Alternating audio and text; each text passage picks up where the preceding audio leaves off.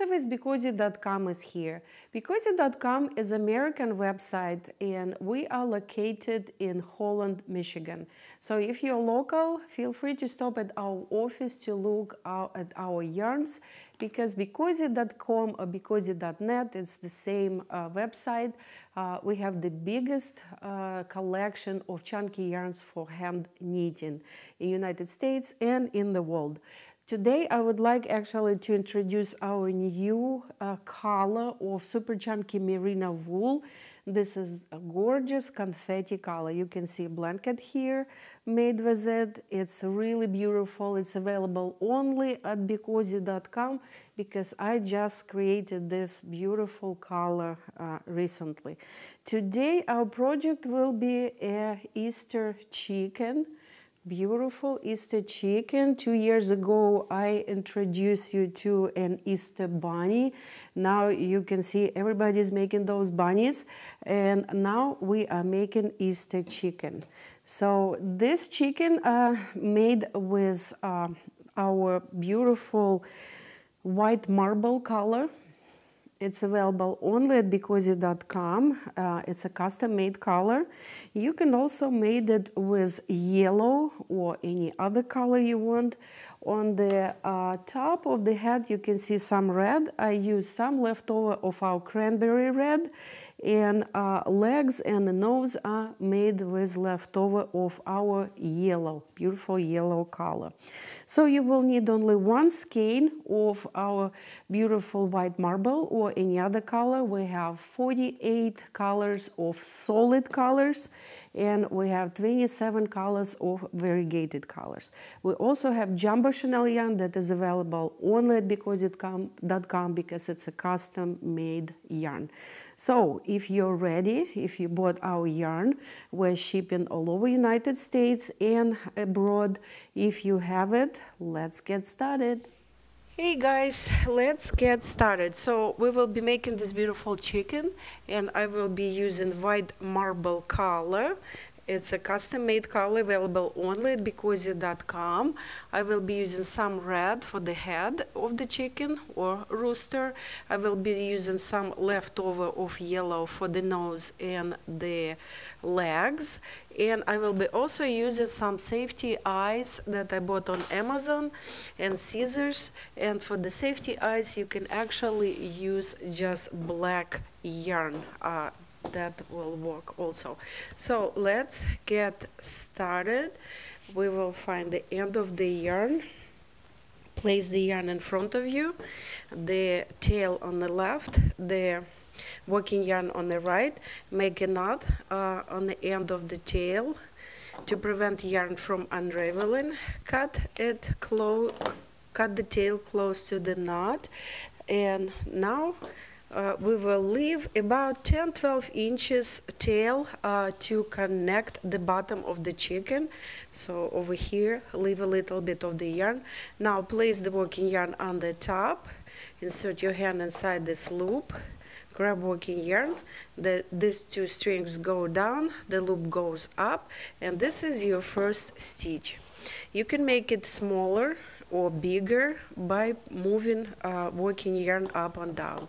So we will keep it about an inch, an inch and a half. So now we will be casting on a chain of 13 stitches, guys. How we will do it? We'll insert our hand or uh, uh, fingers, grab working yarn and pull it out. This is our second stitch. You can see it's the same size as the first one. Now we will press the bottom of the stitch that the, when we're making the next stitch, the stitch will not uh, get bigger to keep it the same size. Insert your hand, grab working yarn, pull it out. We have three stitches now. Now we will keep knitting this uh, casting on the same way until, as I said, we will have uh, 13 stitches. And uh, stitches, you should try to make all stitches the same size, then it will look good uh, on the finished product. So let's count our chain or stitches on the chain. 1 2 3 4 5 6 7 8 9 10 1 2 3 so we have 13 stitches now. What are we doing next? We are placing we are turning this chain on another side like that. Working yarn goes on the back now. And we are connecting this uh, uh, chain into a circle like that. So now this tail will go inside not the last stitch but the previous uh, stitch on the bottom. So we'll just insert it tail and uh, this way we just connected this circle. So what are we doing now? Well, now we will be knitting around and we will be using the middle part of the stitch, not the top, not the bottom, the middle part. We will lift it, insert our fingers, grab working yarn and pull the yarn out and make another stitch. See this bump? That's what we're using. We're uh, inserting our fingers underneath this bump, grabbing working yarn and pulling it out. Next one, not top, not bottom, the middle part. Why are we making uh, it this way? Because this way we will have a beautiful uh, flower-like bottom for the chicken. If you want to make a pillow, round pillow, that's the same way I am making the bottom of the pillow. So now when we need all 13 stitches, we will need to count to make sure that we knitted all of them because yarn is very fluffy and you can skip one stitch by mistake. So here we are. This is the tail. The tail will stay inside. It will show us where the row is starting. 1, 2, 3, 4, 5, 6, 7, 8, 9, 10. 1, 2, 3. We have 13 stitches. So here is the first stitch. It kind of look, uh, it looks like a purl stitch. So you can uh, unwind it and you can knit it to avoid this uh, purling stitch in the middle or you can simply skip it and start knitting the next row. So it's up to you. I'm usually uh, changing it to be completely precise. So anyway, so next row, simply insert your hand, grab working yarn and pull it out. And after this the tail is going inside out of the way but it's very important part because the tail shows us where we start our row. This way we know how many rows we are making. So we almost the approach the beginning of the row where we started that's our second row. Here we are. This is our second row what are we doing after the second row, guys? After the second row, we are folding the circle in half, like that. Why we're doing it? Because this way, when you you keep knitting the simple uh, knitting stitch, but this way your stitches will be closer to each other and you will not have big gaps in between. So here we are now we flipped it and we will keep knitting around. So when you reach the last stitch on this side you're flipping it on another side and you keep knitting. So we will be knitting this simple uh, knitting stitch for 10 rows guys okay after 10 rows we will be switching we will be decreasing the stitches. I will show you how to do it. So I will after 10 rows I will be back and I will show you how to do it Okay guys, so we made 10 rows. You can count them by the stitches 1, 2, 3, 4, 5, 6, 7, 8, 9, 10. And now we will be decreasing. Uh, see, this is the tail. That's where we see the uh, where we started the row. So what are we doing now? This is a knitted stitch. Next two stitches, you can either put second on the top of the first or first on the top of the second.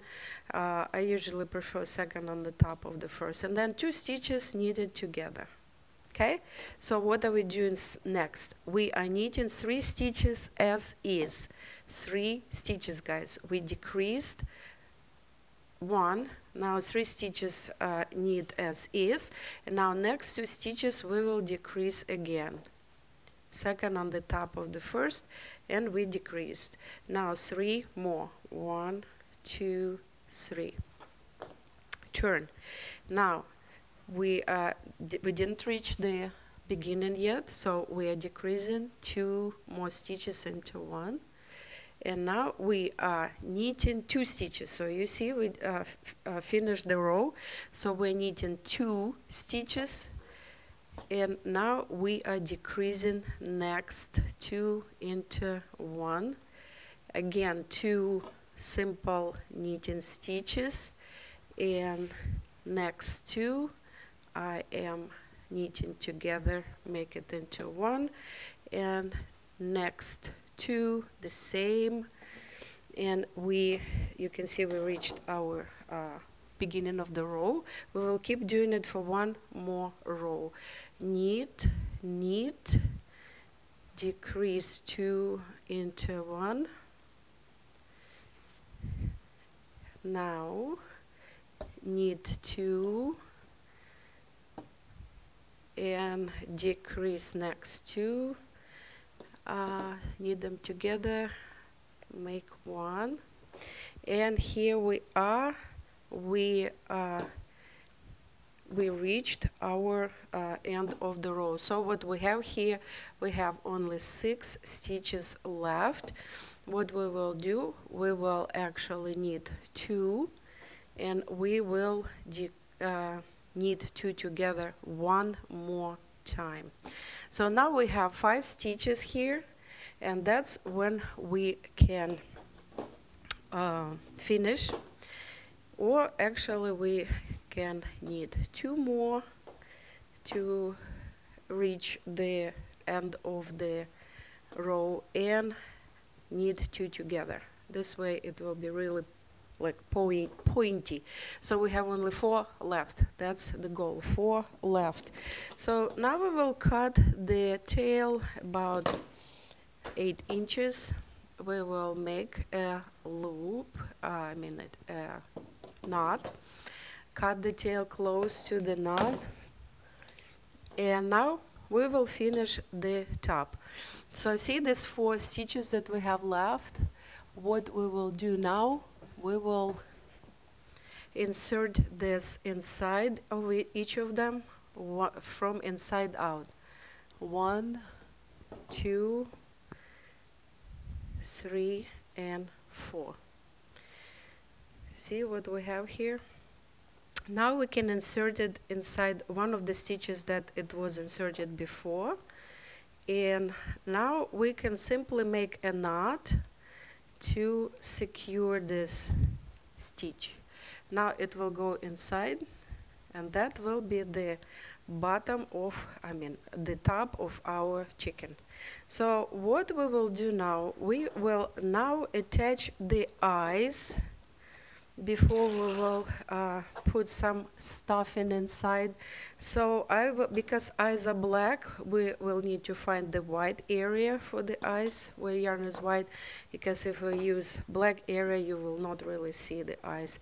So what I will do, I will simply uh, attach it to the yarn and try to attach it to the yarn, not to the uh, opening in between of the stitches because this yarn is big. It's not as easy to attach the safety eyes as uh, for example if you would be using the uh, regular yarn. So here one eye and we will put our second eye over here. Again I am trying to attach it to the yarn not to the opening uh, not to the hole because then it will fall. It will not be holding. Here we are. So here we have two eyes and if you can see this eyes has uh, a little bit of the brown uh, around. I would prefer uh, eyes uh, instead of uh, just black, so you can find those on Amazon. So now we can actually use uh, the filling or the stuffing, and we will put it inside. you can just use an old pillow that's what I'm doing I washed it and now I'm using it to make this uh, chick so here we are. Now we will need to close it on the bottom. So how we will do it? The same way as on the top. See these uh, stitches? The top stitches not the bottom. Top stitches. Here is the uh, tail. So the tail will go from inside out inside every stitch. And this is how we will close the bottom of the chicken you can pull yarn a little bit after inserting uh, the tail inside the three five stitches. Like that. Closing it. And then when you are done with all the stitches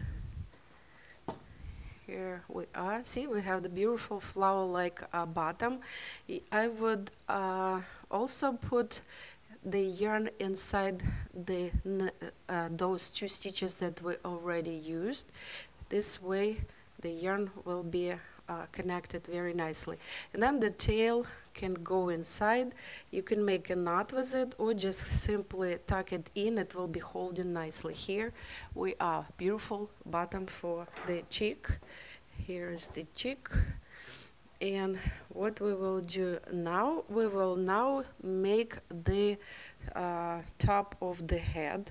I will take my cranberry red uh, color and I will make a knot on the end. And there are two different ways to make the top. One is more for a rooster and one is more for a chicken. This way is more like a rooster, so I will show you this one. So we will start somewhere uh, over here in the middle between two eyes. Insert your finger uh, underneath the stitch and then pull the stitch out and then make another knot with this yarn another stitch. Here we are. So this guy can go inside. We don't need this end here. It should go inside. So now you're just leaving this uh, red uh, part here. Then we're going inside the next stitch and we're making a stitch and then we will be using the yarn and knitting another one. So this is one way to make it. And if you want to make it uh, more like a chicken looking uh, uh, top of the head then you will be simply uh, like you have first one then go underneath the second one pull it out and then the second one goes inside the first so this way you will be just uh, making little red line on the top of the chicken like that. See, it's very different, but it's looking good too. It's just a little bit different. Here we are making this top of the chicken and you can make uh, five, four, one, two, three, four, five. Uh, we can make another one, number six. Here we are. So we just made this top of the head, six stitches. We're cutting the yarn, making a knot, and we're simply, uh, let's cut the tail, and then we're simply uh, putting the tail inside like. Here we are. Oops, no, that's not what I did. So the tail goes actually inside the last stitch to finish it, and then pull it like that, and then uh, hide the tail. Here we are. So here we are. This is the top of the cheek. And now we can make the uh, nose. For the nose, it's very simple. We're taking the yarn we are placing it like that, making a loop, then insert your uh, fingers, grab working yarn and pull it out. And depending how big nose you would like to make, you can make it longer or shorter. And like that. then cut and that's what you have for the nose just a simple stitch. And then it will go in between the eyes over here.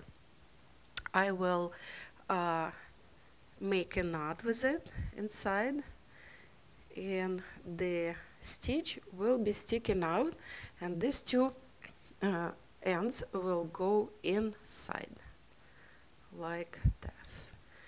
Here we are. We have a nose for the chicken. We have the uh, top of the head done. And now we need to make uh, wings and we need to make legs. So let's start with the wings. The wings should be uh, about the level of the eyes or a little bit lower. So here we are so this is the eyes. So we will start our wings somewhere over here. And we need three stitches on the side, guys, okay? So we will insert our finger underneath one stitch, make one stitch, then make two stitches, and make the third one.